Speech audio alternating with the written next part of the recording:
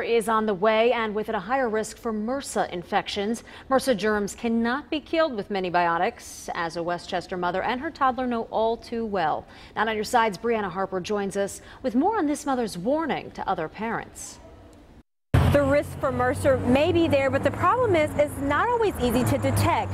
That's why the health department, daycare centers, and parents say education and prevention are a priority. It may not look like it, but daycare centers are one of the most prone areas for MRSA spread through skin to skin contact. The bacteria can cause skin infections and more. A struggle Soraya Skaleski and her two year old son know all too well. We were in the doctor's office uh, literally every two weeks just due to different sicknesses. A year ago, her son was infected with MRSA. Since then, he's been given numerous antibiotics, but health professionals say sometimes this treatment can only do so much. The common antibiotics that this bacteria used to be sensitive to, it's no longer sensitive to, so it's much harder to treat.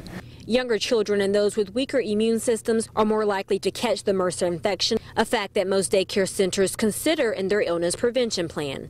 That includes hiring professional cleaners to disinfect the classrooms each evening, emphasizing good hand washing practices. Um, we also post notices on the classroom doors, so if someone has been out with a diagnosed illness, we will post that on the door so parents are aware. It's a step that Soraya hopes can help other parents. It's been hard on us financially. You know, you're paying for the daycare, but you on top of that, are paying for your child to be in and out of the doctor.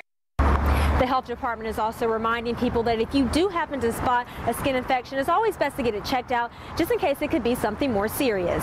Brianna Harper reporting 9 on your side.